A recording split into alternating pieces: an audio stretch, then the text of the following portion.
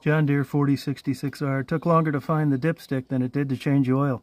Okay. If it's We'll just vertical and it's dirty, it's hard to see. So John Deere 4066R. Crazy. If you look back here,